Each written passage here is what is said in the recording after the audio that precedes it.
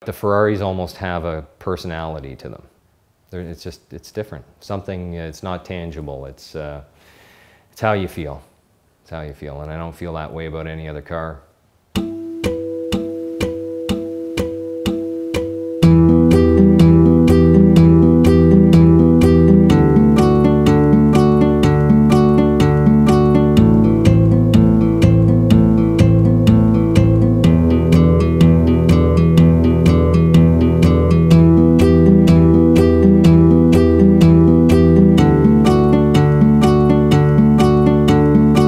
I was just looking through the Auto Trader and I, I was looking, I was originally going to build a car. I was going to build a Cobra 427 kit car like a lot of people do. And I just Googled, I just went Ferrari on Auto Trader. No specific model. And there was only two pages. It wasn't like I was going to have 100 pages to sift through. And it was all of Ontario, and I found a 308 there, and I thought, well, I'll buy that car, and I knew nothing about them. I'm a mechanic, so I know about cars, but I knew nothing about Ferraris, and, and it was quite a shock going from a Hemi Roadrunner to a 308, because they absolutely have no torque compared to a big block, anything really. Uh, or even a domestic car, they just, they, they lack that, but they make up for it and everything else. So I bought my 308 and then I parked it in the garage and it sat there for a couple of months because we were moving to the next place.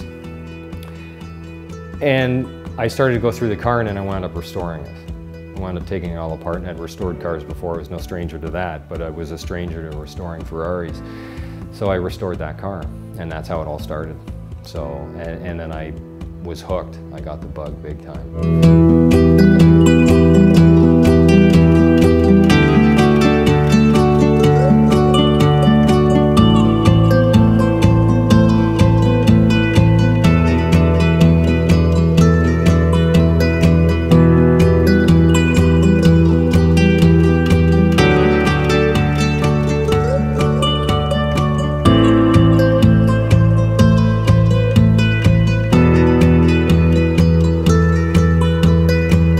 Tough to explain. It's, a, it's an iconic car.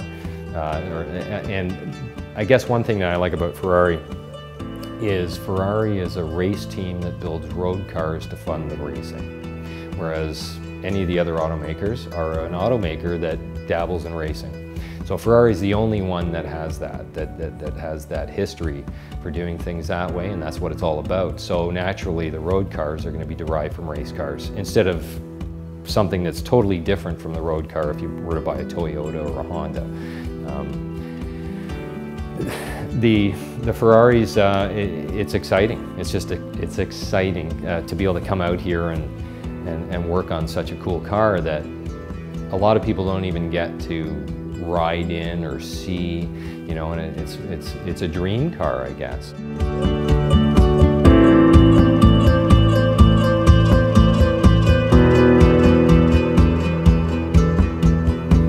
I'm a Ferrari mechanic.